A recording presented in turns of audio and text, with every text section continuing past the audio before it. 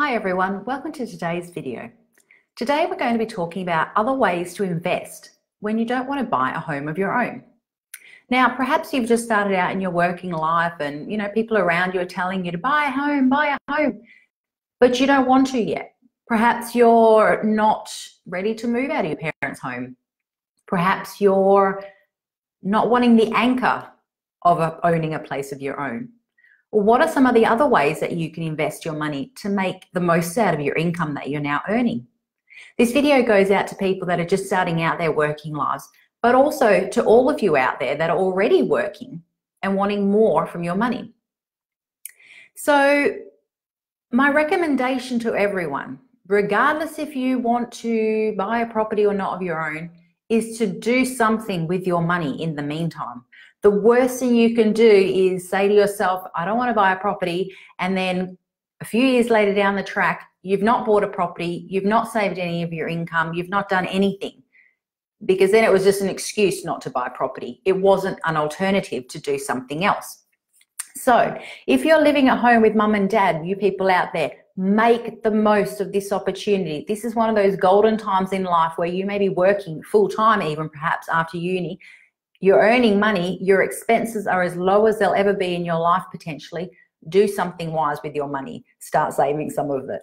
Um, okay, so here are three tips, three things that you can do instead of buying a property for whatever reason, instead of buying a home. Number one, start saving anyway. Use a high interest bank account of your choice and start saving. Put that money to good use, get a head start in life.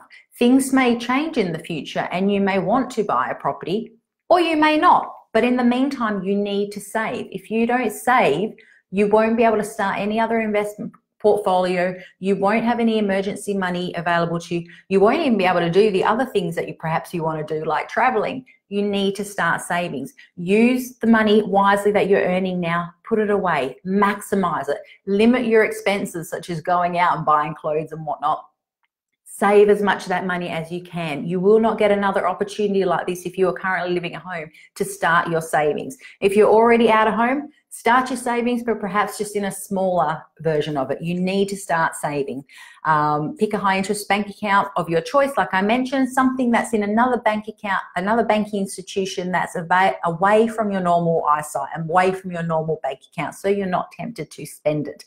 Don't miss out on this opportunity. Start your savings. Number two, take some of those savings and invest in a managed fund. You can invest in a managed fund, which is essentially like a group of shares that have been put together for you by an investment manager. You can go invest in direct shares, but usually with that, it's, it's quite hard to add a small amount to a portfolio over, over a period of time. You need to save up money, buy the shares. With a managed fund, you can start that from as little as $1,000 and $100 a month. That $100 a month or more if you can, is a fabulous way to show disciplined savings, money getting taken straight from your bank account each month and put into your investment portfolio by the investment manager. It's disciplined savings that helps you take advantage of dollar cost averaging, which means buying shares at different prices over time. Each month, the share prices will fluctuate and you can pick them, you can buy them when they're higher or lower. So it's a really good way to get ahead. But the beauty of that is that over a number of years, and with a managed fund, you really should be doing it for say three, four, five years or more you'll find you've got savings there that you didn't even miss because of that small amount that was taken from your bank account each time. That's something that you can't do with direct shares. So a managed fund, you can do that. And you don't have to limit your savings to $100 a month. You can put away more if you want, and you can change that amount if need be, if things in your situation change. The beauty of a managed fund is that you'll be able to invest into growth assets such as properties and shares done by the investment manager on your behalf uh, which is something that a bank account can't give you. A high interest bank account, for example, will pay you interest, small amount of interest by the banks, and no chance of capital growth, which means no chance of your account balance going up unless you add your interest to the to the bank account each each week or each month you paid that.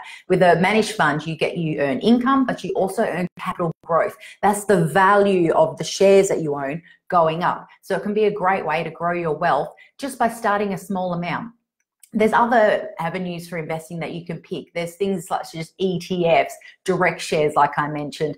Um, oh, geez, all sorts of things. I don't even want to get into them right now. I just say managed fund because it's one of the most simplest and easiest. You can pick a fund. There's a lot of talk these days, like by the Barefoot Investor, for example, about keeping your fees low when it comes to fund managers. And yes, that's very true. You want to pick a fund, even if it's just an index fund with a low management fee and go with that. You can seek advice from a financial advisor if you're not sure, or there's some, or your bank, or there's some online that you can open up as well. But seek advice if you're not sure which managed fund is suitable for you. Um, that managed fund as well. You may change your mind in a few years about buying a property. You can sell down that managed fund portfolio, have the cash paid into your bank account within five to 10 working days, and there's some money towards your deposit. So it's a great way of starting your investing on the side. Um, you can, like I said, choose direct shares, but with that, you're going to have to save up the money first and then buy a parcel of shares. And let's be honest, when you're left to your own will with saving and investing, sometimes it's not done versus an investment manager taking that money straight from your bank account every month. It's a great disciplined savings. Somebody else almost doing it for you, taking control out of your hands. Okay, Number three option to you, if you're not ready to buy a home of your own, consider rent vesting. Rent vesting is when you rent where you live, unless you're living at home with your parents, of course, then that's even better because it's going to be the cheapest way possible uh, for you.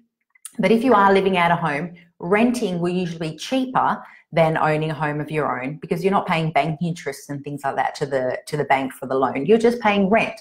So it's usually cheaper than owning your home. The caveat to that about renting is if you rent and don't invest, you're just renting. That's when people say renting is dead money, it's a waste of money because you're paying the landlord the rent. But if you rent where you live by intention, on purpose, and then you buy an investment property to rent out to someone else for income and growth, now you're a rent investor. Now your rent money is no longer dead money. You're choosing to rent because you want to keep your expenses low or live in a, a better location, something that perhaps you couldn't afford to buy in. Keeping your expenses low helps you then to buy an investment property on the side. That then helps you to manage the property, keep it looked after, pay the bills, whatnot. When you do rent investing, the beauty is you're an investor with an investment property, which comes with tax deductions, anything associated with, with managing the property, bank interest, maintenance, um, rates, all that is tax deductible when you're renting out a property versus when you own a home of your own, none of that is tax deductible. So with a rental property, you usually pay less tax, you have better tax offsets, um, and you have the, the, the point of the investment property, which is to go up in value over time and also receive that rental income. So to recap, rent vesting is when you rent where you live for lifestyle and to keep your expenses low, but then you buy an investment property to rent to someone else for income and tax benefits, and that's called rent vesting. So even if you have no intention of buying your own home right now, still think of buying a property, but perhaps buy an investment property. It usually makes much more financial sense to do it that way. And then that gives you some more breathing room to either live where you want to live, as in suburb choice, be able to move around still because you're renting, or stay at home with mum and dad just that little bit longer. So there are three options to you if you have no intention of buying any, a property just now. Like I said, Use your money wisely. Don't miss this opportunity just because you don't want to buy a home.